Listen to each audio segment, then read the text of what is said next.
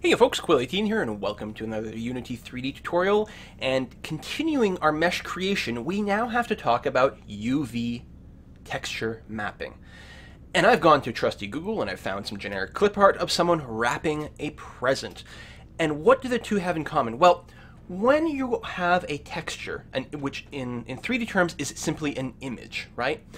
You have to somehow get this flat texture onto a shape that might be all kinds of weird kind of shapes. It might be a box, it might be a character, right? Think about your, your, your favorite sort of humanoid character in a 3D first person type of game, right? This is a relatively complex shape. you've got arms, you've got heads, you've got noses, you've got necks, little crevices, nooks and crannies all over the place. And somehow you're taking a flat two-dimensional image and wrapping that around the your, your 3D model in a certain way to make it so that when you have where you have drawn the eye in you know in your paint program it actually shows up on the model where the eye should be and that is all done using UV mapping. Another piece of clip art that I picked up that might be helpful to think about is the classic sort of unwrapped box type thing. So this is your 3D box, but you could envision unwrapping this box to something like this. So if you want to texture box, for example, if we were making a 3D image of a standard, a standard six-sided die, right, some dice, what, what you would do is you would model a cube and then you would go into your, your painting program and you would lay things out kind of like this and then you would put one dot here and on the opposite face over here you would put six dots and then three and four and two and five. And then you would tell your 3D program listen here's my image and here's how I want each one of these coordinates in the image to be applied to each face. And that is something called UV mapping. So you can imagine that this image over here on the right, um, again, we'll, we'll, think about it in terms of percentages, or rather a number from 0, which is the top left corner, to 1 in the bottom right. It, it may be the opposite way. The 0, 0 might be down here, and the 1 might be up here, but it doesn't really matter, right? So, and then in our coordinates, um, so let's say it's about this wide, so at one third of the way here, so in the x direction, it's at 0.3, so this corner here would be 0.3x and 0y would be this corner right here. And then this corner down here would be 0.3x and 0.25y, right? A quarter of the way down the image would be 0.25. So we've got a third of the way this way and a quarter of the way this way. So this coordinate would be mapped to 0.33, 0.25. This corner here would be mapped to 0.66, 0. And this corner down at the bottom would be 0.66 and then 0.25 in the y. And then you would repeat that for every single point on this image. Now, most 3D modeling programs have certain tools to help you do this um, in a kind of non-tedious, non-manual kind of way, but th that's what happens. In fact, usually what happens is you go the other way around. You create your model, and then you use a tool in your 3D program to unwrap the model to something like this, and then you export this image to your painting program, and then you paint over the image and then you just take this newly updated image, put it back in your 3D modeling, which has already unwrapped your coordinates from this to that, and so your image just gets applied to the right place. And that's usually the way that you actually do it. Um, now, we don't quite have the luxury of doing that right now because we are manually creating that, but we do have to tell the program what the heck the coordinates are, because right now, we've just got a block square because basically every coordinate here is just set to like 0, 0, 0, 0, 0, 0, 0, 0. Everything is zeros and it so happens that in our image, the, the 0, 0 point in our image is just a black pixel. Right? If the top left pixel, or again, bottom left or top right, or where, wherever the hell it actually maps to, if that were a an orange pixel, like even if everything else looked the same, but we had that one pixel being orange, then this whole thing would be orange.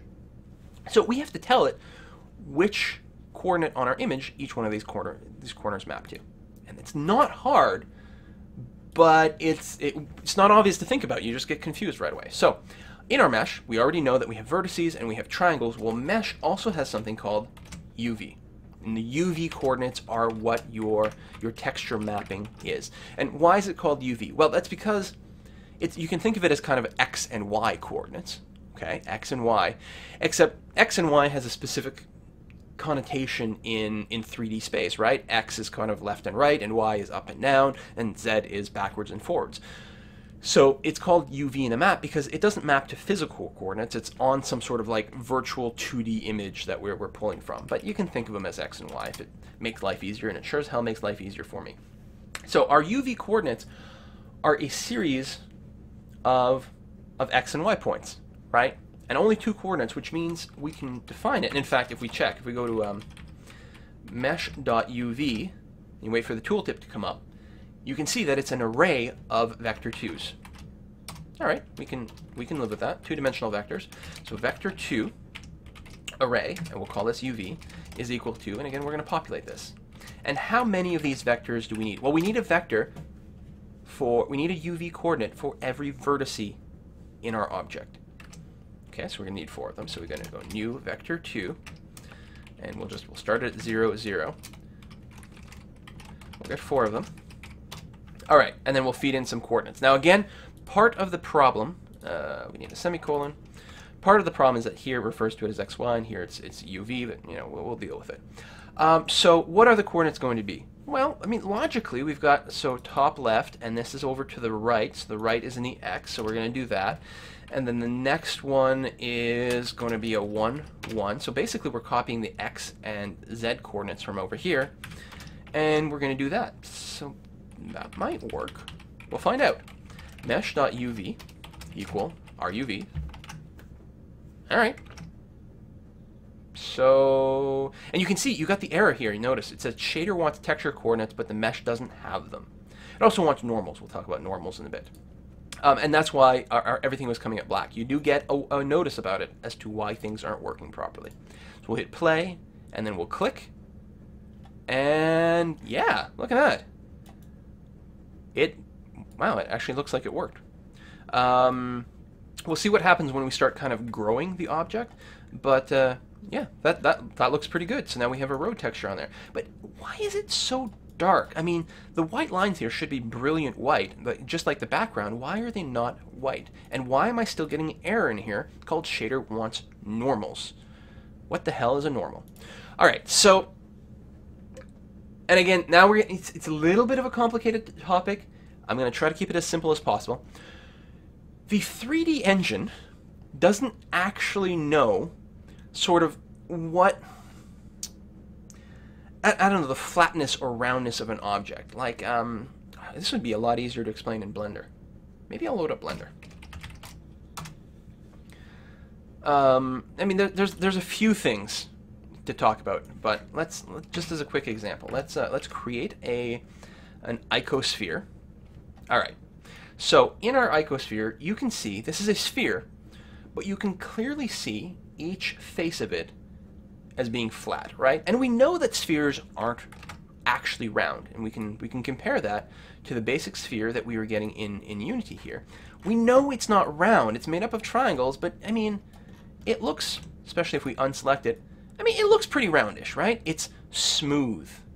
Everything is smooth here, as opposed to this sort of thing which looks more like a cut gem. Well, why is one smooth and one not? And it comes down mostly to normals. There's there's a whole other thing with split edges and whatever. We won't get into that. Um, it mostly comes down to normals because on each one of these vertices, vertices in this mesh for each triangle, the normals are pointing straight up straight up and flat and sort of orthogonal to the um, to the flatness of the surface, right? They come out at 90 degrees. Um, you can think of it, look at, look at our little 3D widget here. You can think of the flat surface as being the, the green and red, and the normal comes straight out of the top because it defines the sort of flatness of the object.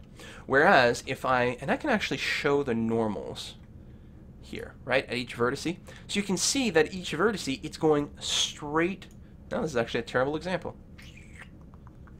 Actually, a terrible example. Um, well, that's unfortunate. Actually, oh, that's why. Because, there we go. So the normals come out straight from the surface, right? The surface normals. Blender and the way the normals work in Blender is different from how they work in Unity, so it's not necessarily the best example, but that, that's the normal.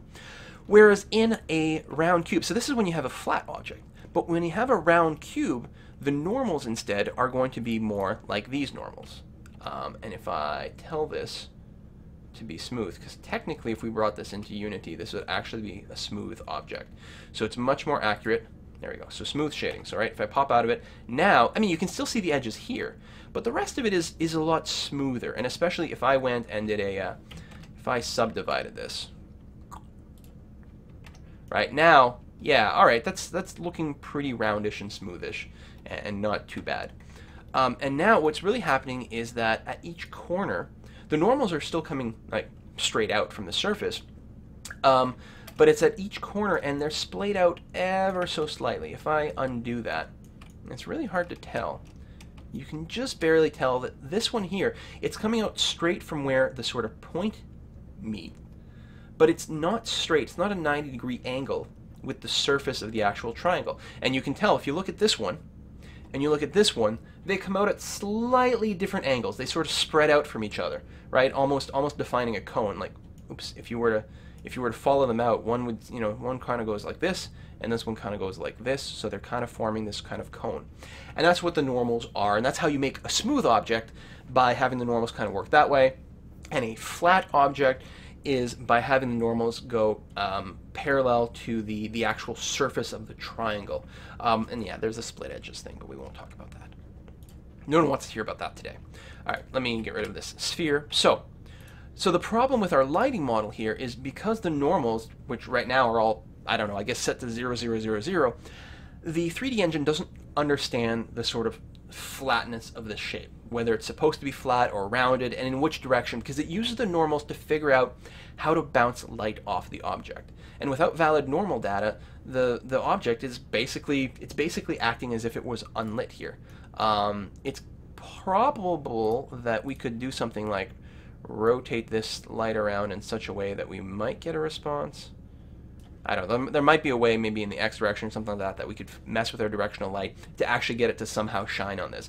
But the real solution is actually just to get some normals up in here. Now, the normals are a little, uh, they're very uncomplicated to think about in our flat structure because every single one of the normals is going to point straight up, right? We're, we're flat this way, so all the normals are going to point exactly straight up. So we are going to, again, we've got mesh dot normals which is a series of vector threes. It's an array of vector threes, um, which, which is great. We can work with that. So we're going to go and make a vector three. We're going to call this normals equals something of some kind. We're going to assign it over here. And then um, we can use the, uh, the shortcut vector 3 dot up, right? We can just use that, and we're going to feed it four up vectors for our normals. So, um, so this is where like the 3D creation starts to become very complicated if you've got complex shape with curves and straights and all these kinds of things, because you have to figure out the correct orientation of the normals and God forbid the UVs. But now, if we do this and we click, now our road is brilliantly lit. It's just as bright as the surface down here. It's exactly the way it's supposed to, and we've eliminated all the errors in the console. Um, there is one extra thing. If for some reason, if in your material, whoops, you use a bump mapped version. So if we used a bump diffused and we hit play here, we will get one extra error message in that it wants tangents. We're not going to look at that. Um, but the tangents, like normals, are used to define sort of how the lighting works. Uh, even though you norm you call this a normal map, that would be your bump map. It, it uses a combination of normals and tangents and, and things like that to determine how to play with the lighting when you've got an object that looks kind of bumpy. And the, the tangents aren't actually hard to do, but they're not relevant to this, so I'm going to leave them out just to leave this a little simpler. Um, but there we go. So no no errors at all. And I can keep clicking and get lots of roads, and that's great. Um, but we would really like, because right now they're stacked on top of one another. I can I can move one out of the way. I can show you. Ah, there it is. Um, but what we really want to do is respond to the mouse positioning in some fashion and use that to sort of draw our road properly.